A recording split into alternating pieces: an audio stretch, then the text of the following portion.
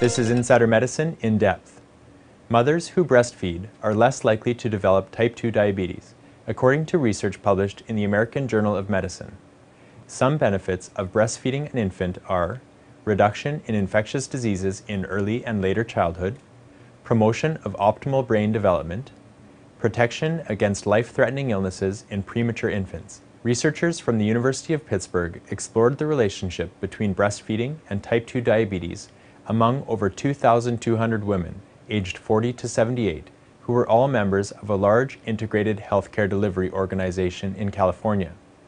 Among these women were over 1,800 mothers, and 56% had breastfed an infant for one month or more.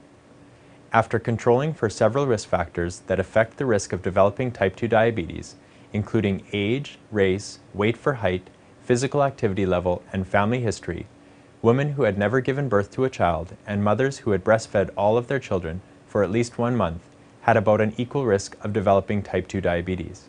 In contrast, mothers who had never breastfed any of their children were nearly twice as likely to develop the condition as women who had never had a child.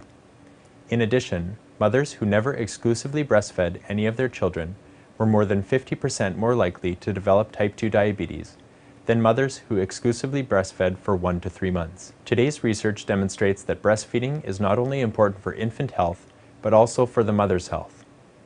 For Insider Medicine In Depth, I'm Dr. Kelly Schweitzer.